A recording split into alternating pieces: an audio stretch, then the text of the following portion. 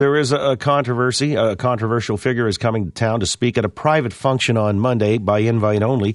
Geert Wilders has made his name and his mark. Uh, he's a Dutch politician, but he's also perhaps the world's most outspoken opponent of Islam. Says he doesn't actually hate uh, Muslims, but uh, he questions Islam as a religion of peace and believes that, in fact, the Quran does uh, implore the faithful to acts of violence. Uh, that being said, he's obviously uh, run afoul of many who would disagree, none more so than the executive director of the North American Muslim Foundation, Farooq Khan, who has joined the Oakley Show this morning at Talk Radio AM 640. Mr. Khan, welcome to the program. Hello. Thank you very much. Well, uh, Geert Wilders is coming to town. It's a private matter, but he's critical uh, of Islam, and you're critical of the decision to bring him here. Uh, why are you being critical of the decision to allow somebody to come and speak freely here in Canada?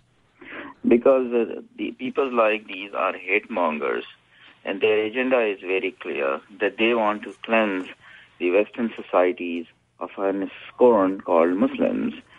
Their ultimate objective is to get rid of the Muslim populations from the Western societies and uh, their their idea is that uh, to revive the new crusade, basically, and to get uh, you know shut down all the mosques and throw out all the Muslims who are living either in Canada, U.S., you know, or the Western, uh, you know, Europe. How do you uh, draw that extreme conclusion? He says he doesn't hate Muslims per se. He just well, well I mean, the point here is first of all, you cannot separate Muslim from Islam.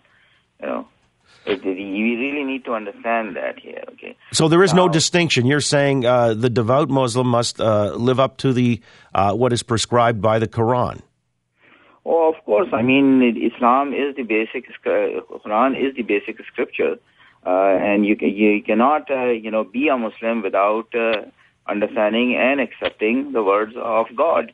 That is defined. It's like you know a Christian. how can a Christian be a Christian without understanding and accepting a Bible, or a Jew without taking, you know, the, the, their scripture, or the Hindu. Uh, th- that's beside the point here. Uh, you know, the point here is that what is their real objective? What is their real agenda? The far right in uh, the West, uh, including this guy coming from uh, from Holland, uh, has a very clear agenda, and that is to get rid of the Muslim population. And I have said it previously too, right? That I have I have the fear, uh, and and I'm convinced now that there will come a time because of these hate mongers that the Muslims living in Canada will eventually be interned into the concentration camps in Kingston and probably sent to gas chambers. Wait a minute, wait a minute, wait a minute. I, I want to be clear on this point. You maintain that the end game of folks like Geert Wilders or those who support him, their agenda is to send Muslims to concentration camps in Kingston and ultimately to gas chambers? Yes, I'm convinced. I am convinced beyond a shadow of a doubt. What that gives you wait wait a minute? What gives you uh, any reasonable assumption that that's the end end game or the because that is where, where you know that is where it is eventually going to lead. Look, what happened to the Jews in in Europe in the 1930s in Germany? You know, it started out as a very mild movement, you know, against them, but eventually it led to the Holocaust, and that is exactly the game plan of these extreme right extremists. Well, no, there's a different context entirely in this day and age. I mean, well, there, there's no such thing as day and age, you know. Yes, there is. We're open no, no, to we're open to debate and free speech and shining a light on people if they are hate mongers. We can challenge them. These are all ideals. These are all ideals. They're not ideals. We're talking about it now. Yours is a dissenting point of view. It happened in Rwanda. It happened in Rwanda. It happened in Bosnia.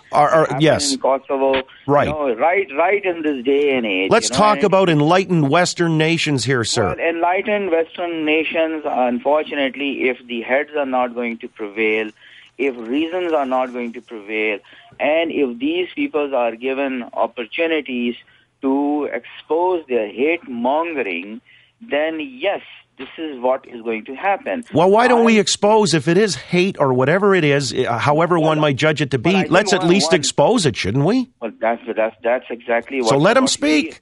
Why, why would he not be allowed to speak so that we can at least, in the court of public opinion or the forum no, no, of you, democratic you, you persuasion, we, do not, we, not, we can challenge it?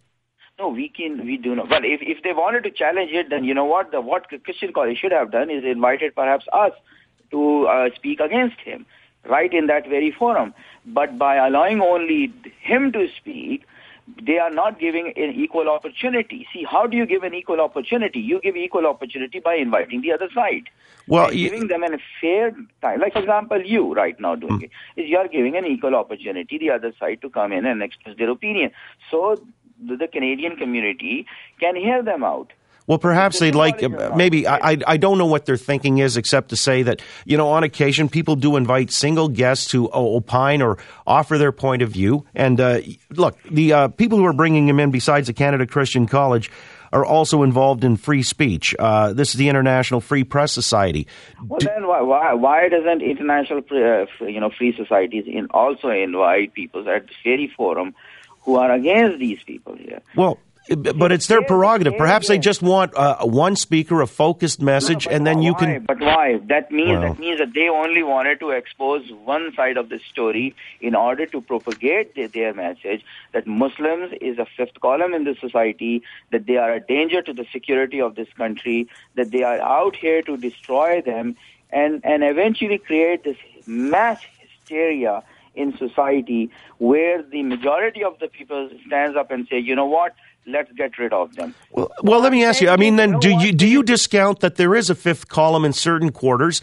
Take the UK for example. I mean, with radicalized Muslims or the Islamists. look, there is fifth column in every society. They are nutcrackers. They are on the fringes. They are, you know, petty thieves and criminals. But they say they're living up to the precepts of, uh, of the Quran. I mean, and you're saying uh, every Muslim must be devout and to the point of literally uh, taking to heart the message in the Quran. So they're they're saying they're taking that message very literally. No, no, but but there are moderate Muslims are the apostates. There are nutcrackers. There are nutcrackers among the Jewish communities. There are nutcrackers among the Christian communities. Are they going out and actually uh, look, killing people en masse? I'll give you an example. There are nutcrackers in the Hindu community. For example, look what happened in Gujarat uh, with the uh, with the Muslims. You know, right in the 80s during this Modi guy here, uh-huh. there was a mass slaughter. So there are there are nutcrackers everywhere. Well, you're right. But the but point here is you do not take the nutcrackers and you you do not label the entire religion. You do not label the scripture. But Mr. Wilders is, if I'm understanding it correctly, is addressing perhaps what you're addressing. Uh, there are a radical. There's a radical no, no, element no, within Islam. No, no, no, no, no, no. See, there is there is a difference between an academic debate and there is a difference uh, and mass hysteria. These people so there is a there is a group of these individuals, the far right. Uh, their agenda is to create a mass hysteria. They are saying it on one hand. Oh no no no, we don't hate Muslims.